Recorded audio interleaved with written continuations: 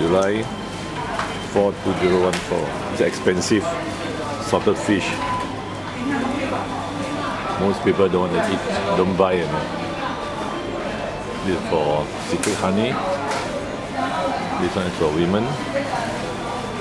Special honey for women for the blood.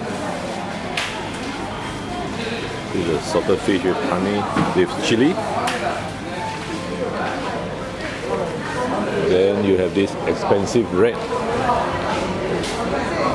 Expensive bread. Yeah? So this is marketing to the the upmarket consumer.